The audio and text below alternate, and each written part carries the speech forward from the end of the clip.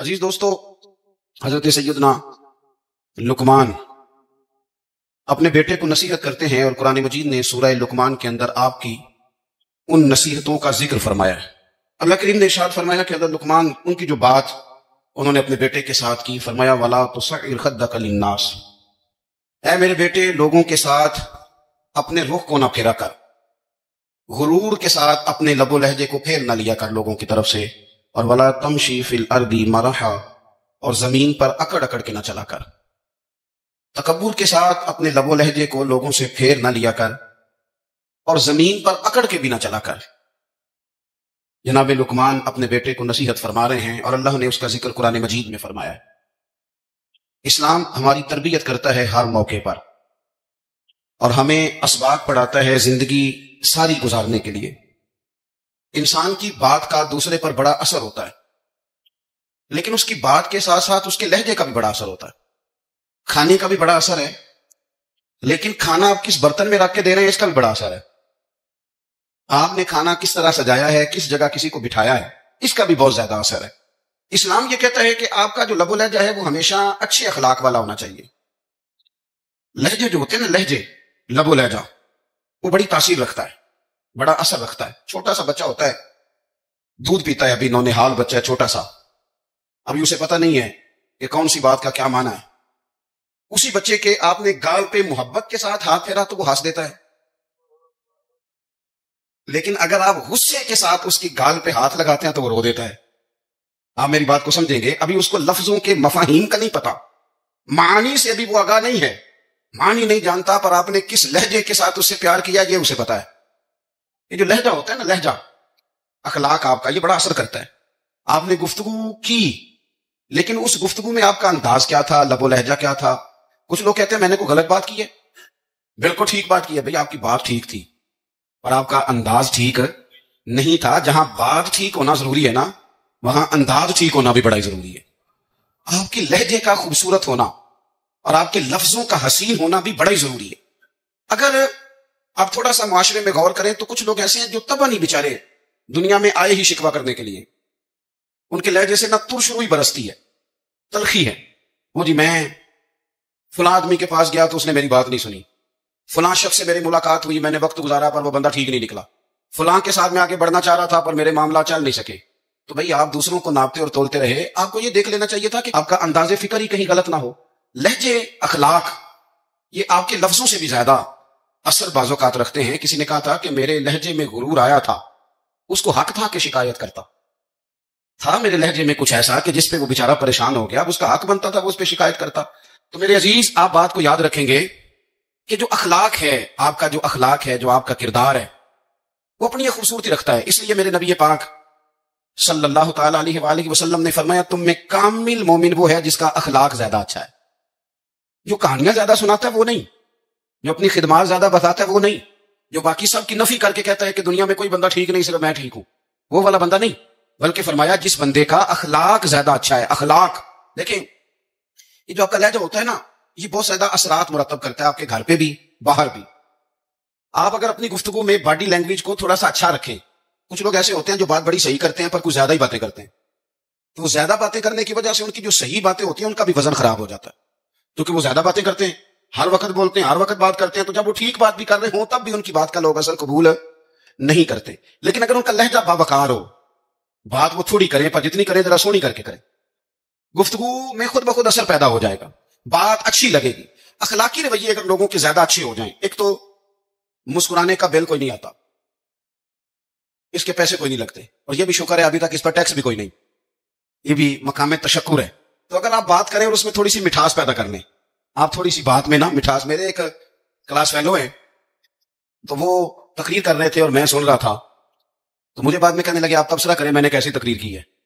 ये होता है ना जी बाज़ात दोस्त बैठते हैं, बेतकल्लुफ तो कई दफ़ा कुछ बातें ऐसी एक दूसरे के साथ करते हैं। तो मुझे कहने लगे, आप बताएँ कि मैं बात कर रहा था तो कैसी थी? तो मैंने कहा, जब आप बात कर रहे थे तो मैं डर रहा था।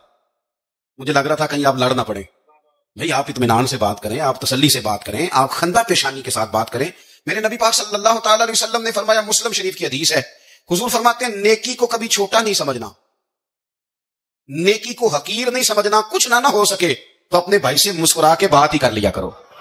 बात करो तो तुम्हारे लहजे में तुरश रुई ना हो। बाजो का आप तलख बात करते हैं, आपका लहजा तलख होता है तो आपकी सही बात भी कबूल नहीं की जाती।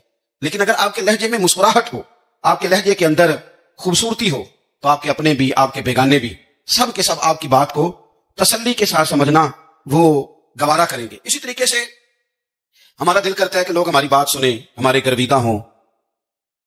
हम जो पैगाम देना चाहते हैं, वो पैगाम लोग अच्छे तरीके से कबूल करें। उस पर लोगों की तवज्जो ज़्यादा हो, ये हमारा शौक होता है।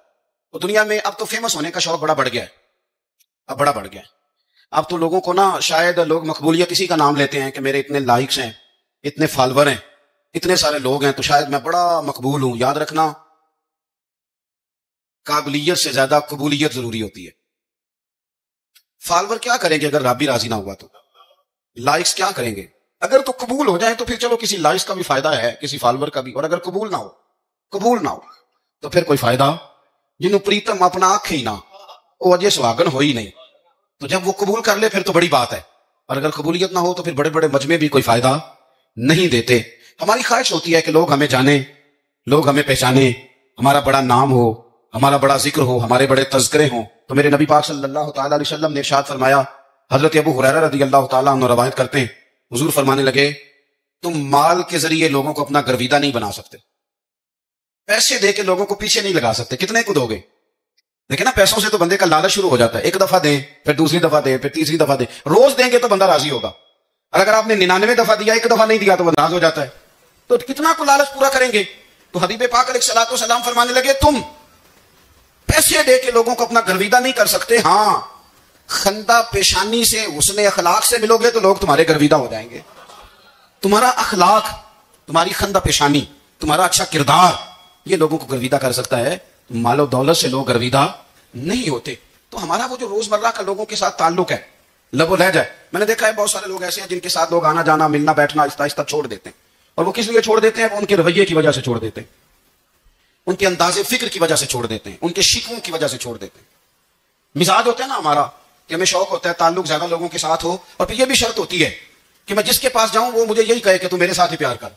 एक साहब मुझसे कहने लगे कि ये मैं महफिल कराता हूँ, आप भी तशीफ लाएँ। और मैं बीस उलमा को बुला चुका हूँ, और बड़े बड़े नामवर नाम उन्होंने मेरे सामने लिए। मैंने उनसे पूछा कि जो नाम आपने लिए हैं और आपकी तस्वीरें भी साथ हैं, मैं अलहमदुल्ला तस्लीम कर गया हूँ आपकी बात को।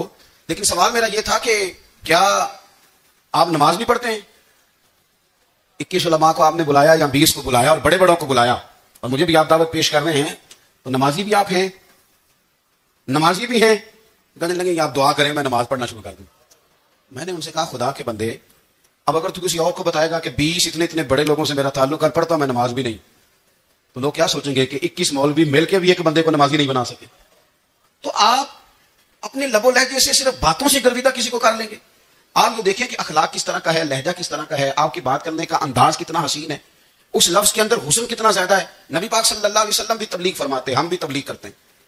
मैं और आप जब तबलीग करते हैं तो उस तबलीग के अंदर शिकवा होता है और तनकीद होती है। और बाज जगह मैंने ये भी देखा है कि तंज होता है, तंज। हम दूसरे को दे, दीन की दावत रहे हैं, लेकिन हमारे लबो लहजे से तंज। और तुश रुई छलकती है। तू दौलत के पीछे लग गया है, तू बिल्कुल जाहिल है, तू बिल्कुल तेरे खानदान में से भी कोई नहीं डराता। आप तंज कर रहे हैं। आप दावत दीन नहीं दे रहे। दावत दीन तो गुलदस्ते में रख के पेश की जाती है। उसकी तो एक खूबसूरती है, उसका तो एक हुस्न है, उसकी तो अपनी एक जाजबियत है, उसकी अपनी एक नौरानियत है। सियाब कराम अली रिदवान फरमाते हैं कि हज़रत साहब बिन महाज रदी अल्लाह तु का जनाजा था। अल्लाह के प्यारे महबूब सल्लल्लाहु अलैहि वसल्लम ने जनाजे की इमामत फरमाई। और जनाजे की इमामत के बाद अभी ना कब्र के तैयार होने में कुछ टाइम बाकी था। तो हुजूर ज़मीन पे तशरीफ़ फरमा हुए। लोग कब्र की तैयारी में हैं। बाजुकात होता है ना, अभी कब्र नहीं तैयार हुई। तो कहते कि लकड़ी के साथ हजूर ने ज़मीन को रेदनी शुरू कर दी। और देर तक हजूर ने चेहरा नूर को ज़मीन की तरफ़ झुकाए रखा, गोया, ज़मीन शरफ दीदार हासिल करती रही। देर तक चेहरा नूर झुका रहा, ज़मीन की जानी हुजूर ने रुखे नूर को फेर लिया। सियाबा कहते हैं कि हम ना बड़े, जब हुजूर हमारे करीब होते थे तो हमारा ख्याल होता था कि रहमत की बरखा है। अपने अपने हिस्से का करम उड़ेल ले अपने ऊपर। फरमाते मुंतजिर थे कि हुजूर कब हमारी तरफ़ रुखे अनवर फेरे और हम करीम से कोई बात सुन सकें। इर्शाद फरमाते हैं कि हम बड़े शदीद मुंतजिर थे। देर के बाद नबी पाक सलात सलाम ने चेहरा अनवर उठाया। देर के बाद चेहरा अनवर उठाया। ये देखिए तबलीग हो रही है। और जब हजूर ने चेहरा अनवर उठाया तो आँखों में आँसू थे। रो रहे थे और तीन दफ़ा हजूर ने फरमाया, क्योंकि कबर तैयार हो रही थी, तीन दफ़ा नबी करीम ने फरमाया, लोगो, कबर आखरत की मंजिलों में से पहली मंजिल है। इसकी तैयारी कर लो, इसकी तैयारी कर लो, इसकी तैयारी कर लो। तीन दफ़ा हजूर ने यह जुमले दोहराए। क्यों? एक मैं तबलीग करता हूँ।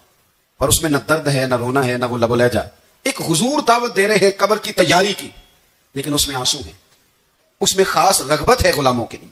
तो अपनी ज़िंदगी के अंदर जो हमारा अंदाज तकल्लुम है, हमारा अंदाज गुफ्तगु है, मैं कहा करता हूँ कि हम ना दीन के लिए जब कलाम कर रहे होते हैं तो शिद्दत होती है हमारे जुमलों के अंदर।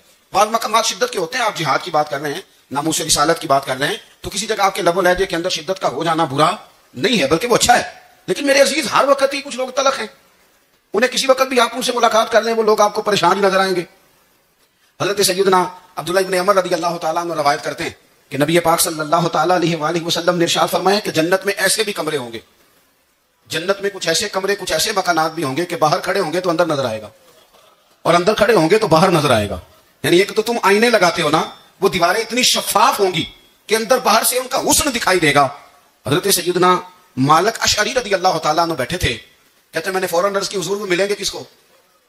वो जो इतने हसीन घर होंगे कि दीवारें ही शीशे की महसूस होंगी, अंदर बाहर से हुस्न के जलवे दिखाई देंगे, हुजूर वो मिलेंगे किसे? तो अल्लाह के प्यारे महबूब सलाम ने फरमाया, वो उसको मिलेंगे जो गुफ्तगु अच्छी करेगा। जो गुफ्तगु अच्छी करेगा। लबो लहजा अखलाक वाला होगा। गुफ्तगु अच्छी करेगा, लोगों को खाना खिलाएगा, और जब लोग सो रहे होंगे तो उठ के अपने रब की इबादत करेगा। उस शख्स को वो मकानात मिलेंगे जिनकी दीवारें आईने की मानिद होंगी, जिनका हुस्न ताज़ा होगा। जिनको अल्लाह तबारक ने अपने फजल से मुजयन किया होगा, सवारा होगा। हम अगर थोड़ी सी तवज्जो करें ना तो कई दफ़ा वक्त गुजर जाता है, लहजा नहीं भूलता। लहजा याद रहता है। आप तो दो मिनट के लिए गुस्से में थे ना तो आपने कोई बात कर दी किसी गरीब को, किसी शख्स को। आप गुस्से में थे, आपने कह दिया, उस बेचारे ने सुन लिया, लेकिन वो ना, वो बातें उसे सोने नहीं देती बार बार याद आती।